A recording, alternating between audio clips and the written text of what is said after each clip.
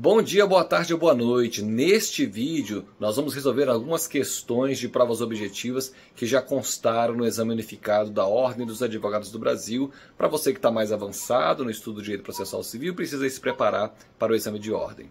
Bons estudos a todos.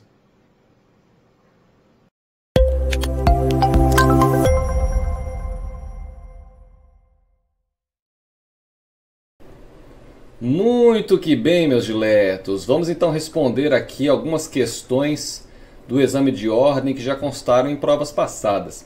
É, perceba que eu estou tentando ver aqui qual o melhor enquadramento da câmera, qual a melhor iluminação. Enfim, me ajudem aí a fazer os ajustes para que o vídeo saia da melhor forma possível. Então vamos lá. Vamos olhar aqui algumas questões. Sei que vocês estão aí na véspera, né? Eu estou gravando esse vídeo agora às 21 horas e 9 minutos do dia 17 de janeiro de 2024. Então me parece que vocês estão aí na véspera de fazer a primeira fase do exame de ordem, né? Por isso que eu estou até apressando aqui esse vídeo para postar logo para vocês, para que possa ajudar na preparação aí para a prova que está próxima de ser realizada. Então vamos lá, vamos ver aqui algumas questões que já constaram no exame de ordem que tratam de direito processual civil. Vamos lá. Primeira questão. Então, veja, essa prova foi a 39, né? 39 exame de ordem unificado. Vou ampliar para vocês lerem melhor. É, eu até recomendo sempre que quando eu estou resolvendo questões, claro, eu vou ler aqui a, o questionamento e aí vão em seguida aparecer as alternativas. Aí é interessante você pausar o vídeo e tentar resolver, né? Dá uma lida com calma, ver qual que você marca e depois tira a pausa, né? aperta o play novamente e continua aqui na resolução comigo. Mas tenta resolver, eu acho que é importante você tentar resolver antes de ouvir eu dar a resposta. Então vamos lá, vamos ver aqui qual foi o questionamento. A General Food é uma reconhecida sociedade empresária britânica do ramo de alimentos, presidida de alimentos presidida, seja lá o que isso for desde 2018. Ah, tá. Presidida desde. Ah, claro. De alimentos. É porque essa vírgula aqui me atrapalhou. Britânico no ramo de alimentos presidida desde 2018 pelo brasileiro Rodrigo Botas. Em 2021, o jornal Folha de Londres publicou uma série de reportagens apontando irregularidades na gestão de Rodrigo Botas, o que foi imediatamente que foi imediatamente afastado da sociedade empresária. Ato contínuo, a General Food investigou as irregularidades suscitadas pelo jornal e, após confirmá-las, instaurou arbitragem na Inglaterra para obter indenização pelos prejuízos causados por seu antigo executivo. Após regular participação de Rodrigo Botas no referido procedimento, o Tribunal Arbitral proferiu sentença, julgando procedente o pedido indenizatório da General Food. Como Rodrigo Botas não tinha bens na Inglaterra, a General Food procurou um ou uma, né, advogado ou advogada, para buscar informações sobre a possibilidade de executar a sentença arbitral estrangeira no Brasil. É possível executar a sentença estrangeira no Brasil, mesmo sendo ela sentença arbitral? Então, na qualidade de advogado da General Food, assinale a afirmativa correta. Então vamos ver quais são as afirmativas. Entender a questão, né? O cerne da questão é que houve arbitragem fora do Brasil e se quer executar essa decisão no território nacional.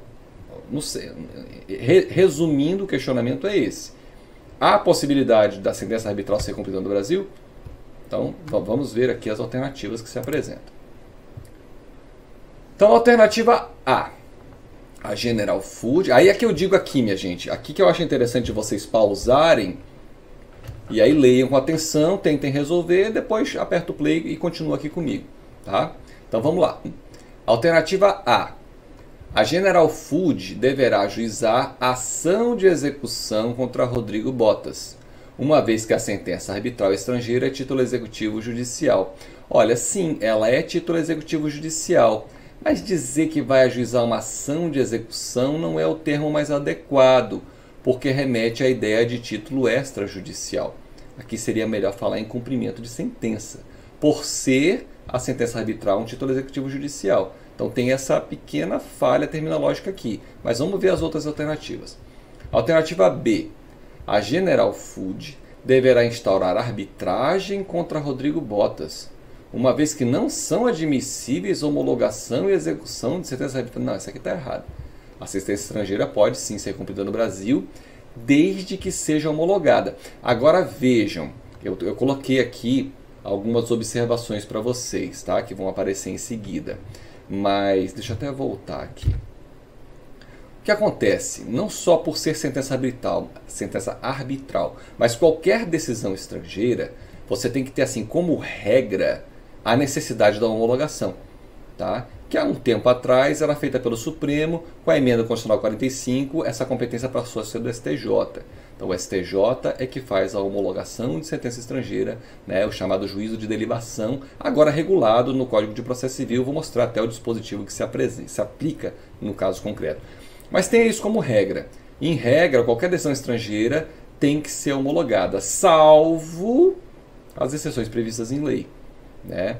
Acho até que o examinador foi gente boa aqui, porque ele não, não colocou aqui nenhuma das, das exceções. Tá? Eu vou fazer observações com vocês em seguida a respeito disso a gente vai tratar melhor. Mas tenha como regra isso. Em regra, a decisão estrangeira precisa ser primeiro homologada pelo STJ para depois ser cumprida no Brasil. Tá? Agora, dizer que vai ter que instaurar arbitragem, como está aqui na letra B, porque não são admissíveis a homologação, aí está completamente errado. Tá? A letra B está bem errada. Letra C. A General Food deverá ajuizar ação indenizatória contra Rodrigo Botas, uma vez que não são possíveis homologação, também está bem errado. Né? São possíveis, é possível ser homologação e execução de certidão A, a B e a C são absurdas e devem ser eliminadas de pronto. Ah, você podia até ficar na dúvida porque é só uma questão terminológica, né? Mas vamos ler a letra D, sabendo que a B e a C estão completamente equivocadas. Letra D. A General Food deverá apresentar pedido de homologação de sentença arbitral estrangeira. Ótimo. Contra Rodrigo Botas, antes de executar a referida decisão no Brasil. É a melhor alternativa que se apresenta aqui. Tá? E aí, as observações que eu separei para vocês. Tá?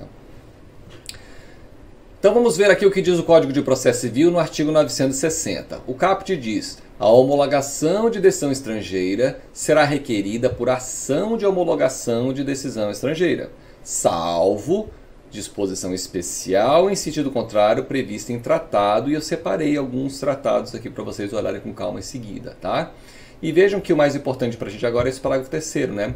A homologação de decisão arbitral estrangeira obedecerá ao disposto em tratado e em lei, aplicando-se subsidiariamente disposições deste capítulo. Então, aqui nesse caso, não há nenhum tratado que se aplique a essa matéria e por isso realmente a letra D se mostra a alternativa mais adequada.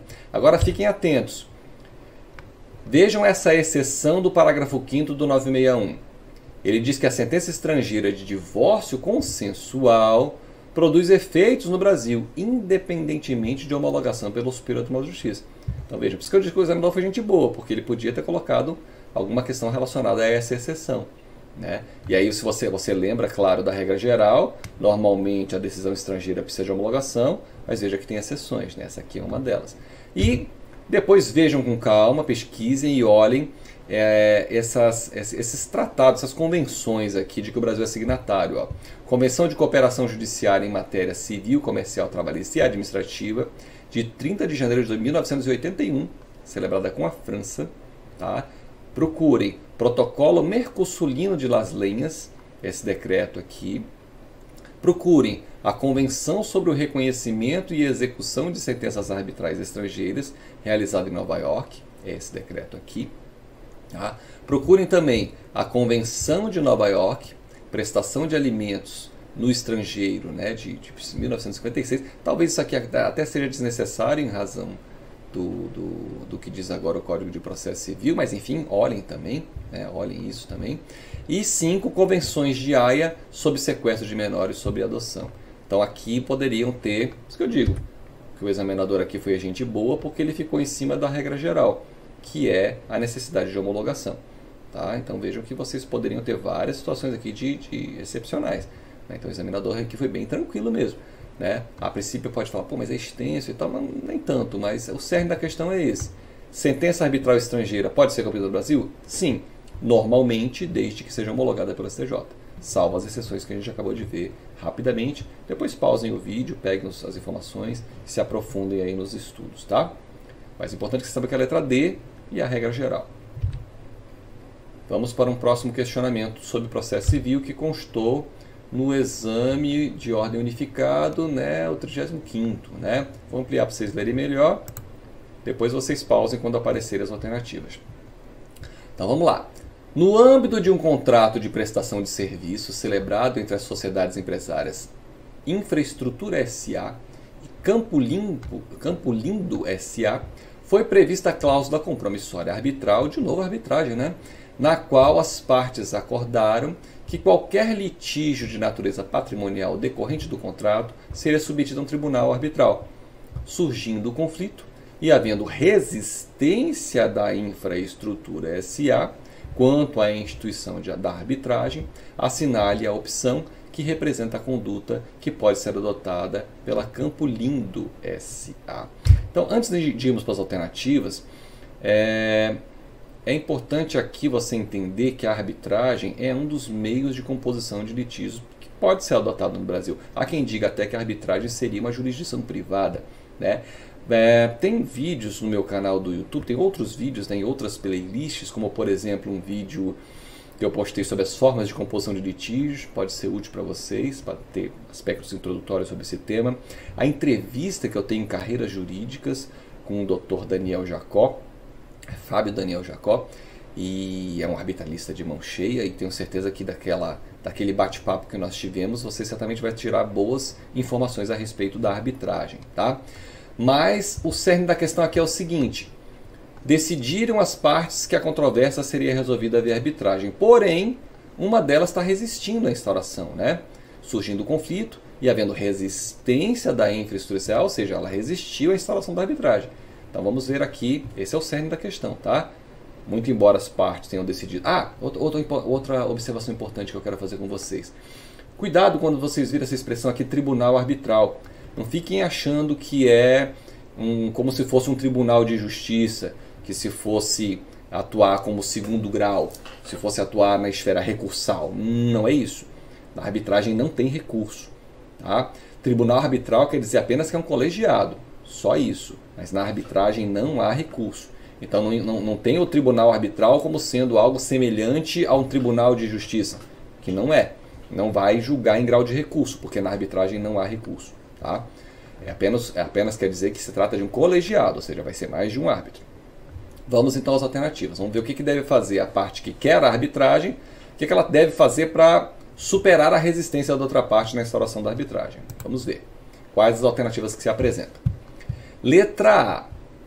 Campo Lindo SA deve adotar medida coercitiva, mediante autorização do Tribunal Arbitral, para que a infraestrutura SA se submeta forçosamente ao procedimento arbitral, em respeito à cláusula compromissória firmada no contrato de prestação de serviço.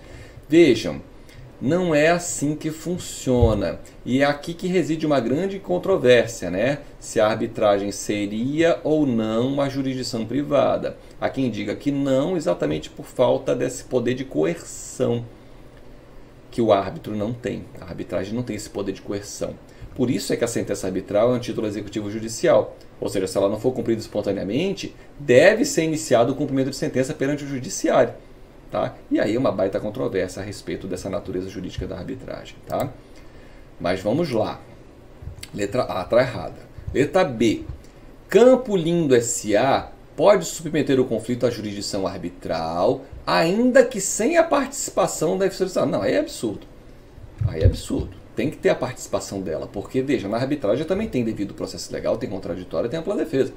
Como é que vai se, se instaurar sem a participação dela? Não tem como. Tá? Não tem como. Ainda que sem a participação, o qual será considerado revel e contra si mesmo, não, não, não. Sem a participação, não. Tá? Ainda mais porque ela está resistindo, ela está opondo resistência à, à instalação do procedimento arbitral. Então a B está errada também. Letra C. Campo Lindo SA pode requerer a citação de infraestrutura SA para comparecer em juízo, em juízo é perante o judiciário, tá? No, no intuito de lavrar compromisso arbitral, designando o juiz audiência especial para esse fim.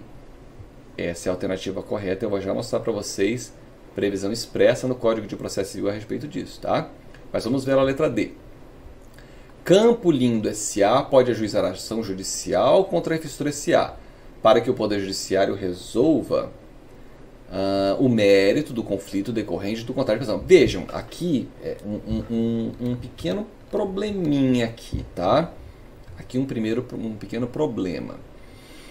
Por quê? A letra C ela se mostra mais adequada. Eu, eu francamente, eu, eu, teria eu teria até impugnado aqui essa, essa questão, tá?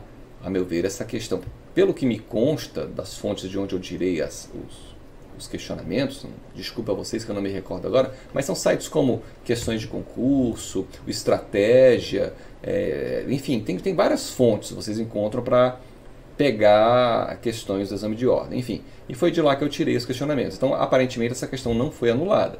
Tá? Até porque se tivesse sido, não, ter, não estaria comentando aqui com vocês. Mas por que, que eu estou fazendo questão de falar com ela, dela?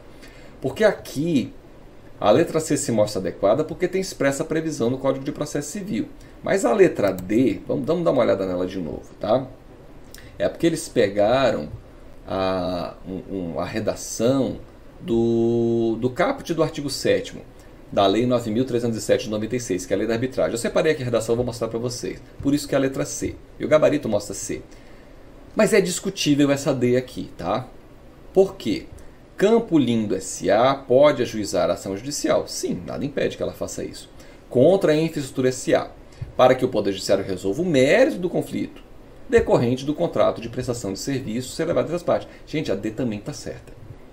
A D também está certa. Tá? No meu entendimento, a D também está certa e eu vou dizer o porquê para vocês. Vejam. Ah, professor, mas se a ré tivesse alegado em preliminar da contestação. Eu estou com o Código de Processo Civil aqui na outra tela. Eu vou até ver a redação para vocês, para a gente ver isso melhor.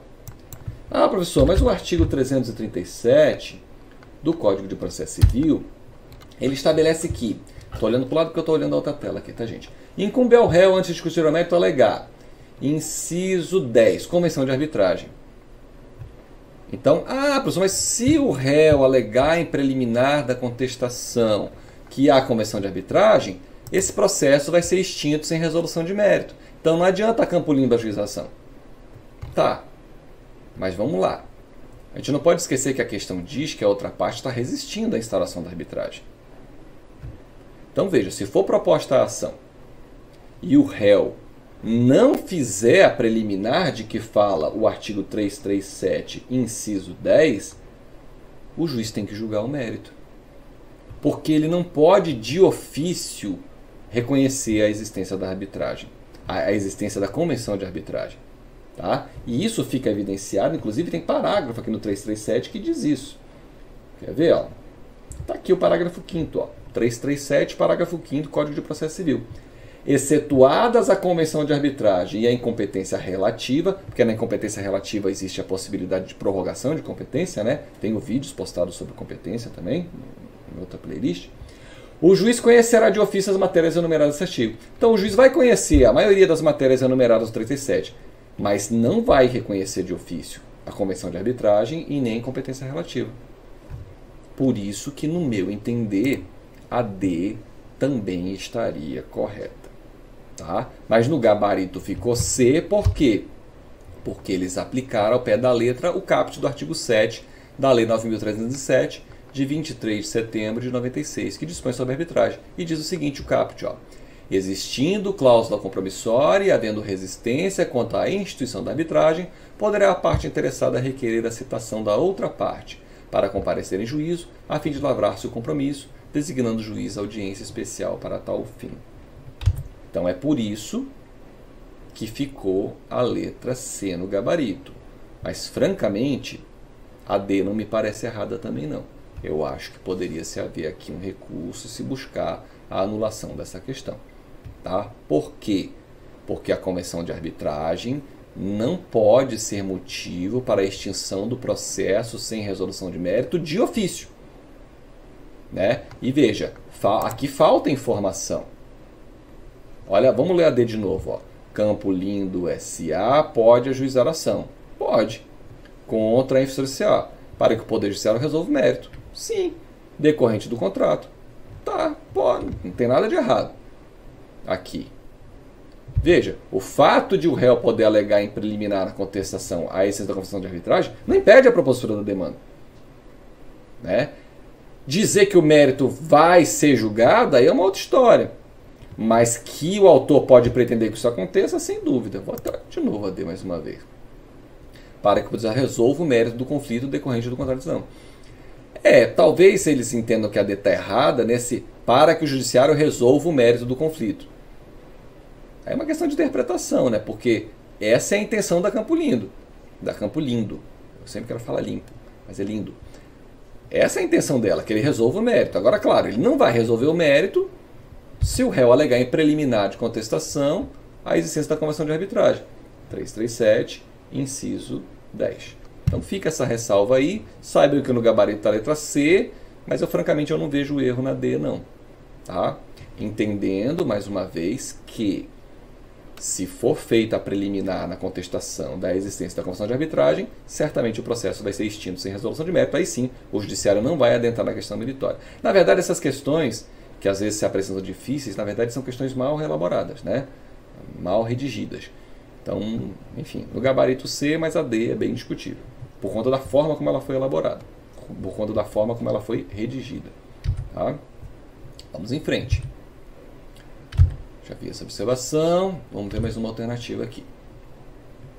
Eu espero estar trazendo esclarecimento para vocês. Não quero suscitar dúvida, pelo amor de Deus. Mas assim, se as, os questionamentos vierem, fiquem à vontade, tá, gente? Vocês podem, fiquem à vontade, perguntem. Eu vou fazer o possível para responder para vocês o mais breve possível. Lembrando que quem ainda não me segue no Instagram, arroba tutorial do direito, vocês podem me mandar um direct por lá e eu mando um convite para vocês fazerem parte do grupo do WhatsApp ou do Telegram, conforme a tua preferência, para que a gente possa conversar melhor por lá e esclarecer mais dúvidas por lá, tá bom? Mas aqui também é um bom, uma boa forma da gente se comunicar. Né? Aqui, se você colocar um questionamento aqui comentando o vídeo, eu certamente vou ver e vou responder o mais breve possível para vocês, tá? Vamos em frente. Uh, 27 exame unificado, exame de ordem unificado. Vamos ver aqui o que pede a questão, depois vamos nas alternativas. Vamos lá. Em razão da realização de obras públicas de infraestrutura em sua rua, que envolveram o manejo de retroescavadeiras e britadeiras, a residência de Diana acabou sofrendo algumas avarias Diana ingressou com uma ação judicial em face do ente que promoveu as obras, a fim de que se realizasse os reparos necessários em sua residência. Citado o réu, este apresentou a contestação. Contudo, antes do saneamento do processo, isso aqui é um ponto importante, tá? esse é um marco processual importantíssimo, e a gente vai ver que tem regra expressa no Código de Processo Civil sobre isso aqui. Então, antes, essa informação é importante, antes do saneamento do processo, di, é, diante do mal-estar que vivenciou, Diana consultou seu advogado a respeito da possibilidade de, na mesma ação, adicionar pedido de condenação em danos morais, considerando o caso narrado, assinale a afirmativa correta. Então, o questionamento é: pode ser acrescentado um pedido na petição inicial antes do saneamento do processo? Esse é o questionamento. Tá? Esse é o questionamento. Simples assim. É possível ser acrescentado um pedido à petição inicial antes do saneamento do processo? Vamos ver quais, quais as alternativas que se apresentam aqui. Em seguida, vamos ver que o código é expresso a respeito dessa possibilidade. Então vamos lá. Aqui que eu digo, pausa, né? Tenta resolver, depois prossegue e vê a resolução comigo. Então, letra A. É possível o aditamento, uma vez que, até o saneamento do processo, é permitido alterar ou aditar o pedido sem o consentimento do réu. Errado. Errado ao dizer sem o consentimento do réu. Acho que até que ficou fácil resolver agora, né? O erro da A está aqui, sem o consentimento do réu. Isso está errado. Tá? Letra B. Não é possível o aditamento, uma vez que o réu foi citado e apresentou contestação. É possível. É possível. Então dizer que não é possível está errado. Tá? Letra C. É possível aditamento, correto, Eis que até o saneamento do processo é permitido editar ou alterar o pedido, desde que com o consentimento do réu. Letra C está corretíssima. Letra C está correta e a gente vai ver que o código diz isso expressamente no artigo 329, inciso 2. Tá? Letra D. Vamos achar o erro dela. É possível aditamento, porquanto até a aprovação da sentença é permitido alterar o pedido, desde que não haja recusa do réu. Não, não é até a sentença. Porque aqui tem uma questão que falam de é, estabilização da lide. Deixa eu voltar para vocês me enxergarem. Se fala em estabilização da lide, né? Porque senão isso não vai acabar nunca.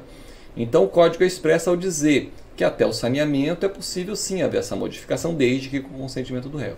Depois do saneamento, não. Aí vai haver estabilização da lide e aí a marcha processual deve caminhar para que haja uma resolução da questão, né? Então vamos, já sabemos que a letra C é a correta. Vamos ver no Código de Processo Civil 329. 329 diz que o autor poderá, e aí 2, até o saneamento do processo, aditar ou alterar o pedido e a causa de pedir, desde que, né, com o consentimento do réu, assegurado o contraditório, mediante a possibilidade de manifestação deste, né, do réu, no prazo mínimo de 15 dias, facultado o requerimento de prova suplementar. E atenção que isso aqui se aplica à reconvenção também, tá? Olha o parágrafo único. Aplica-se o disposto nesse artigo à reconvenção e à respectiva causa de pedido. Então o examinador quisesse dar uma complicada, ele botava uma reconvenção aqui no meio, falava da intenção de mudar o pedido na reconvenção, e aí também se aplica, né? Também se aplica. Então o questionamento é bem simples. É possível acrescentar um pedido antes do saneamento? Sim, desde que haja o consentimento do réu.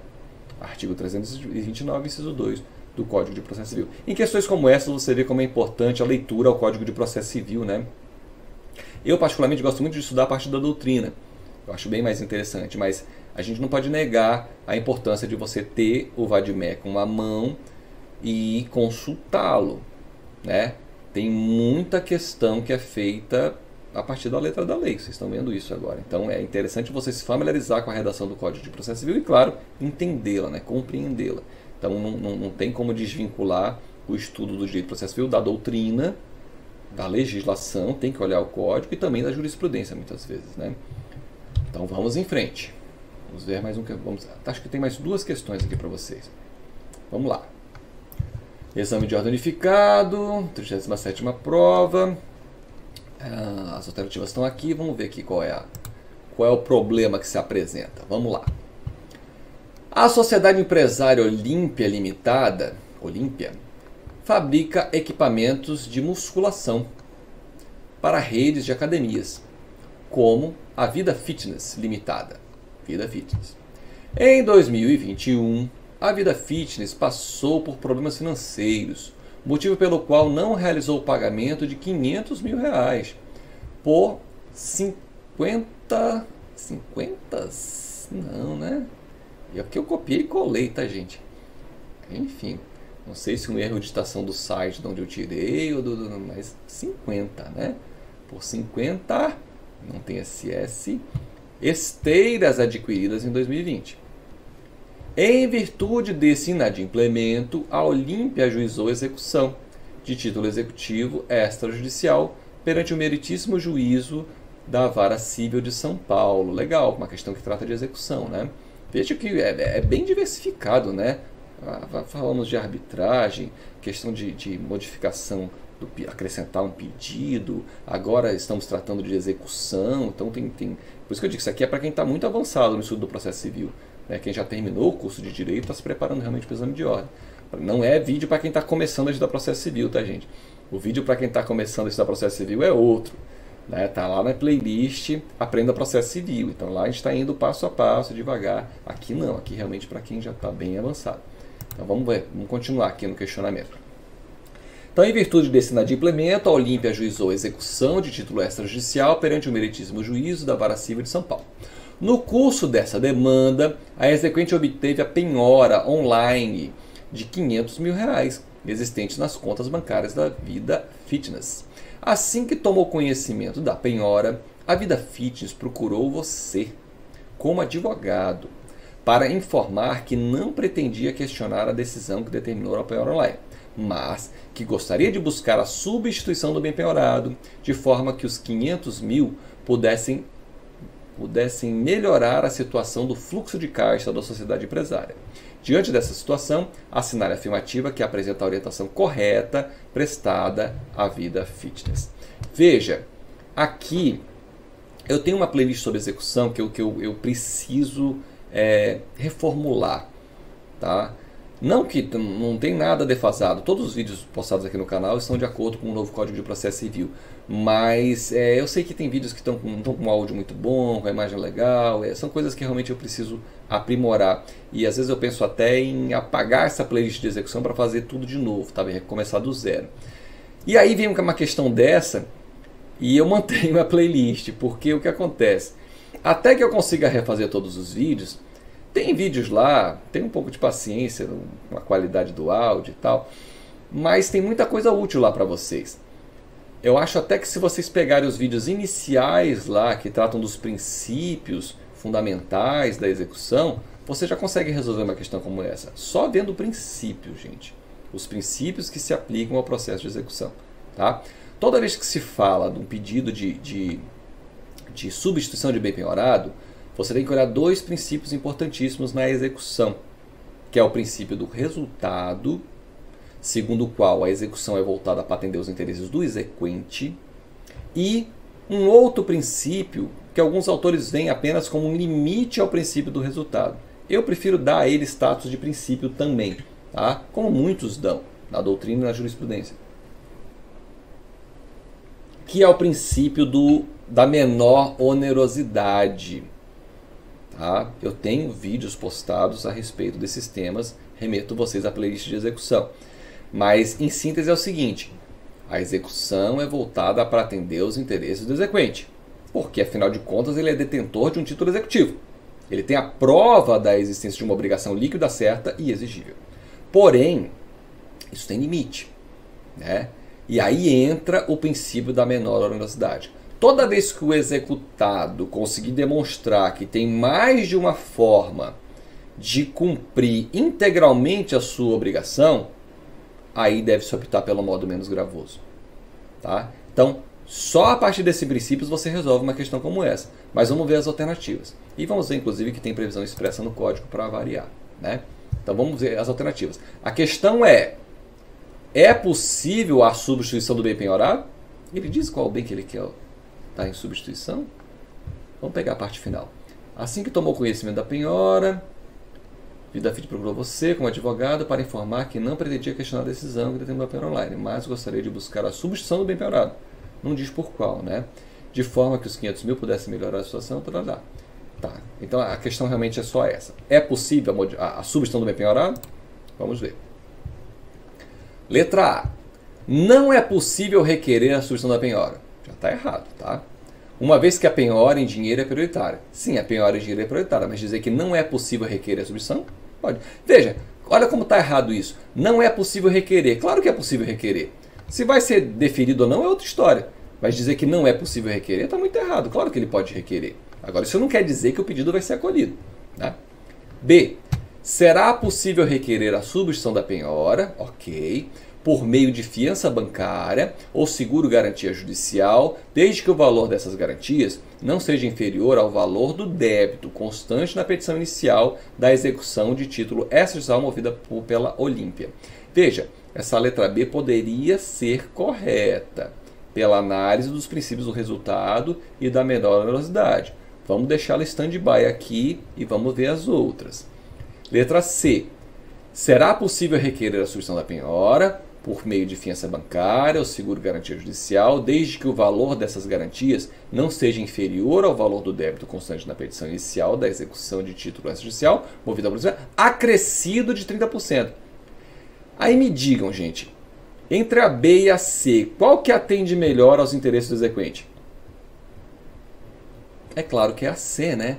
Porque tem essa informação a mais aqui, ó, acrescido de 30%. Então, olha, eu nem sei qual é a redação do Código de Processo Civil. Eu nem sei o que, que diz o 835, parágrafo 2 Eu não sei, tá? Mas se eu lembrar do princípio do resultado, se eu lembrar do princípio da menor onerosidade, eu vou pela C porque eu percebo que ela atende melhor aos interesses do exequente.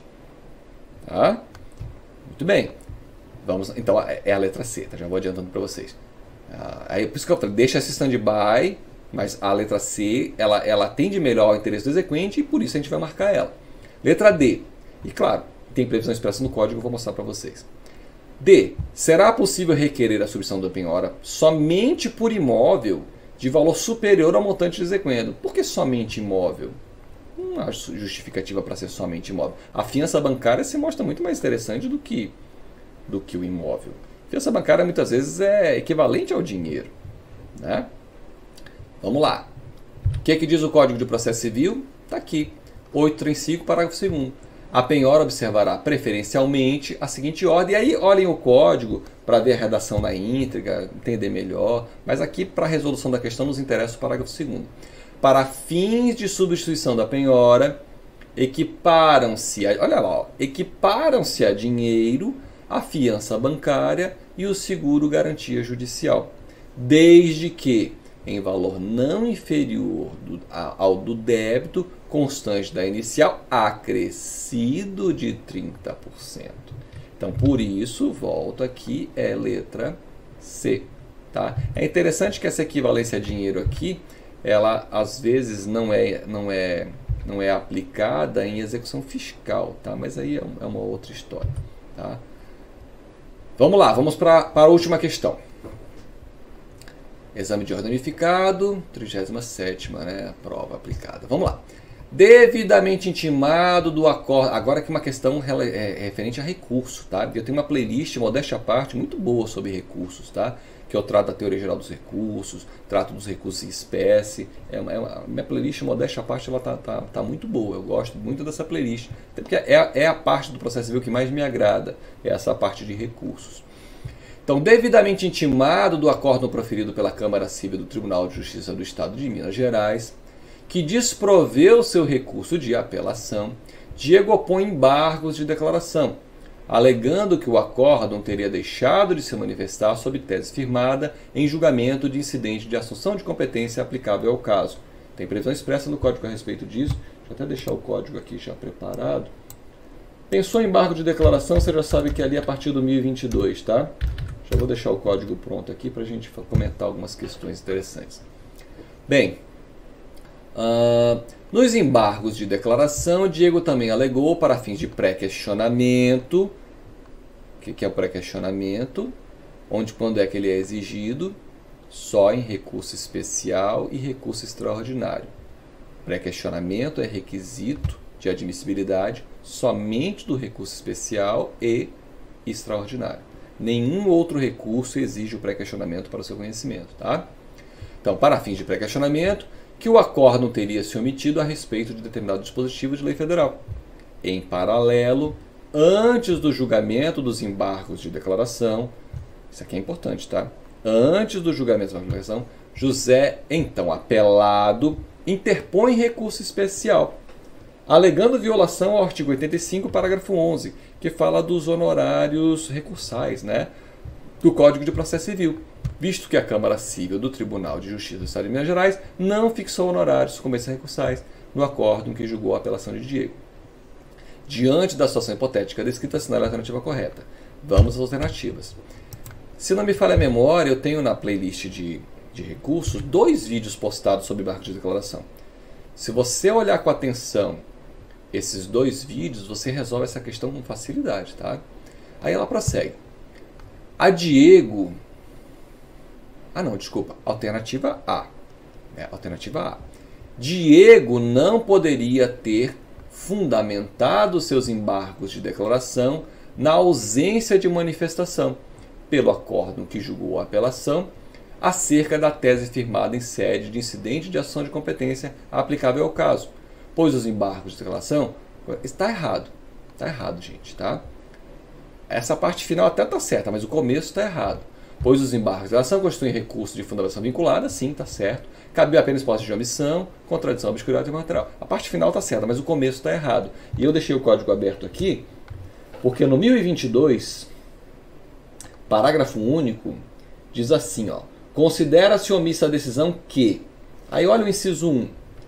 Deixe de se manifestar sob tese firmada em julgamento de casos repetitivos ou incidente de ação de competência aplicável ao caso de julgamento. Então, por isso ela está errada.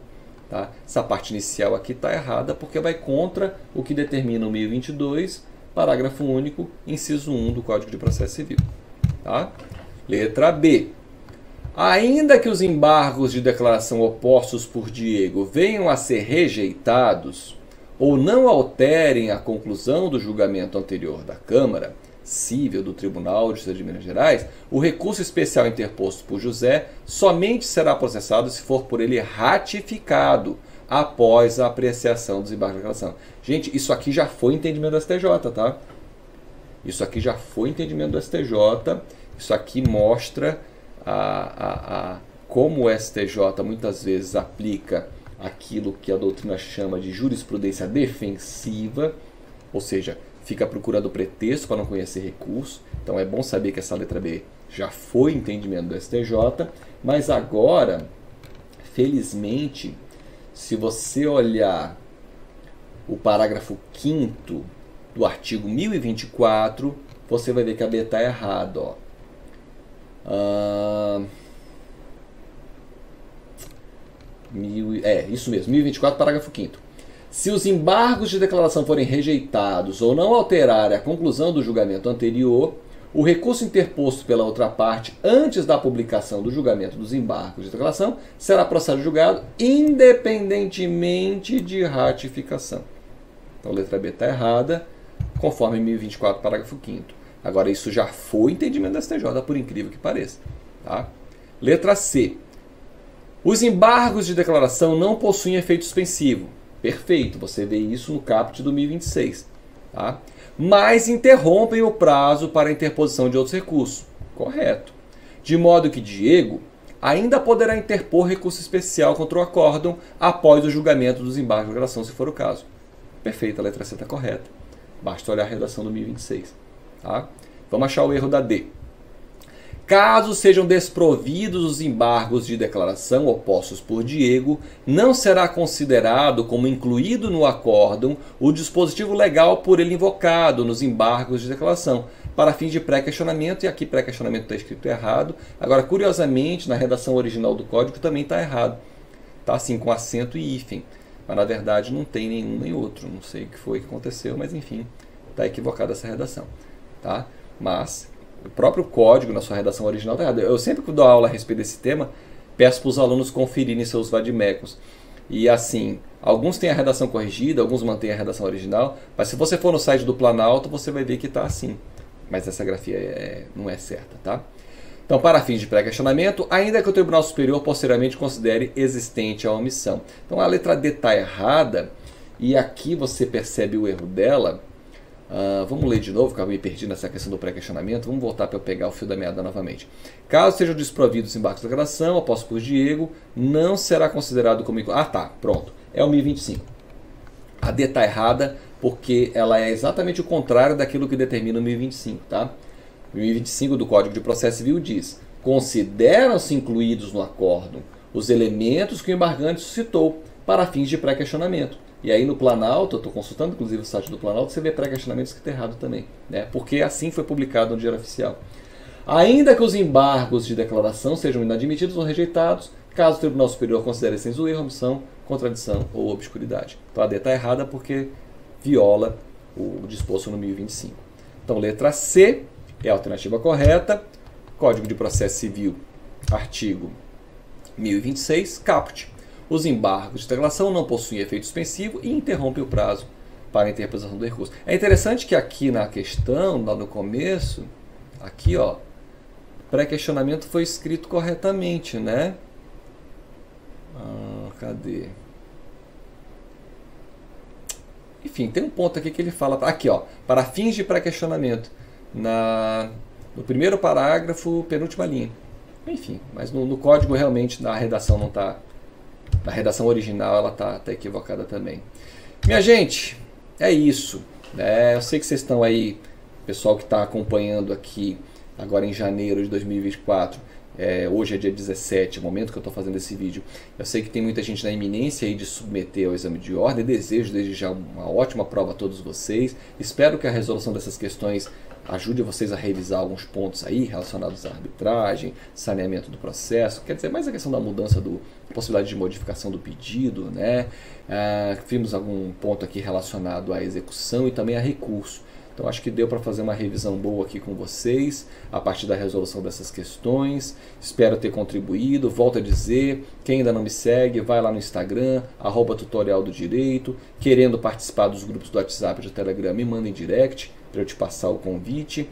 É isso, minha gente. Espero que vocês tenham gostado e que a resolução dessas questões auxilie vocês aí a fazerem uma boa prova. Desejo a todos sucesso, bons estudos e até a próxima.